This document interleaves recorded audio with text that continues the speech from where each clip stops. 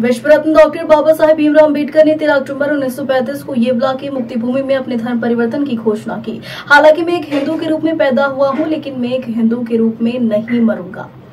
यह घोषणा के बाद बाबा साहेब भीमराव अंबेडकर जी ने इक्कीस वर्षों तक सभी धर्मों का अध्ययन किया। अंतिम रूप से बौद्ध धर्म के पंचशील के समतावादी आचरण से ही, अंततः शोषित पीड़ित नागरिकों को मनुष्य के रूप में जीने का अधिकार मिलेगा। इसलिए 14 अक्टूबर 1956 को उन्होंने लाखों लोगों के साथ बौद्ध धर्म की दीक्षा ली। हर साल येवला शहर की। इस मुक्ति भूमि पर धर्मांतरण की घोषणा की। वर्षगांठ के अवसर पर पूरे भारत से लाखों भीम सैनिक मुक्ति भूमि पर स्थित क्रांति स्तंभों पर श्रद्धा सुमन अर्पित करने आते हैं।